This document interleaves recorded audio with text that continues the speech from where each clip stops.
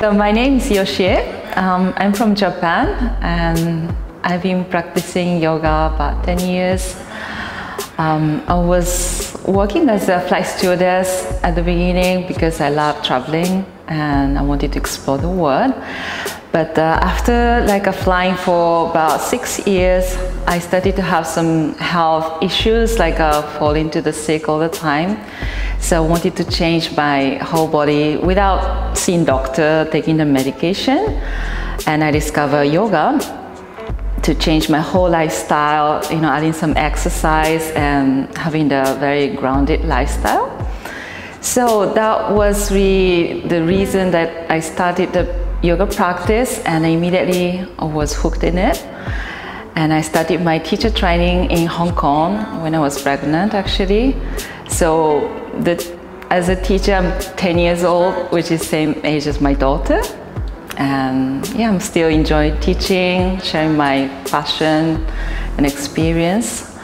And also um, after I gave birth, and my daughter was three years old, I started to do some pole dancing, aerial silk, just because my yoga teacher started to do it and she inspired me so much. She was 40 years old, she started to do all this new activity. So why not I'm trying it? And then, yeah, I really enjoy to be upside down, you know, being hung myself on the pole and then the silk and the hoop.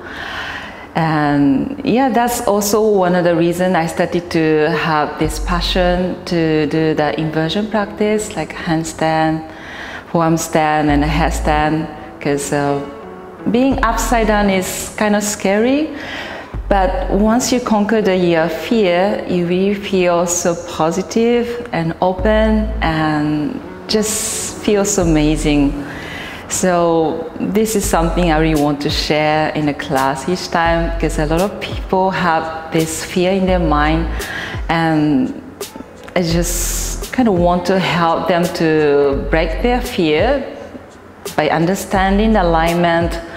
It's just nothing to scare because alignment itself for the inversion is so simple compared to like a hip opening and back bending in itself.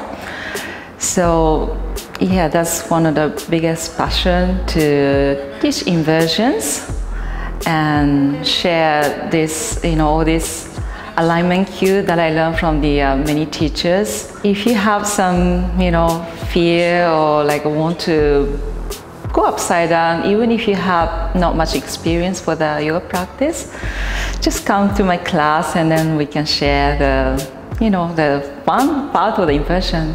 In addition to yoga, I love traveling. That's how I chose the, uh, my first occupation as a flight stewardess because I live to be um, outside of the world because growing, grown up in Japan, surrounded by the, all the same people with the black hair, yellow skin, I always felt kind of uncomfortable and I wanted to live abroad and speak in like a foreign language. Yeah, that's how I chose my first job as a Singapore Airlines stewardess and I came to Singapore actually in 1999, which was super long time ago. And uh, during that time, I started to discover the uh, diving with my boyfriend, who is my current husband. He asked me to go for the diving trip and I was so scared, but okay, this is opportunity, so why not jumping into it? And then actually, I really liked it immediately because uh, when you see the sea from outside, it's very scary because you don't know what's going on under the water. But uh, once you go under the water, it's just so silencious and peaceful, and you see a lot of beautiful tropical fishes. And it's really like a floating you can circle around be upside down do whatever. So this is something i really love. And yeah i love enjoying good food and wine as well. So i'm not vegetarian. I still think it's okay as a yogi to enjoy the food and enjoy the life as long as i know the um, the limit. Sorry i didn't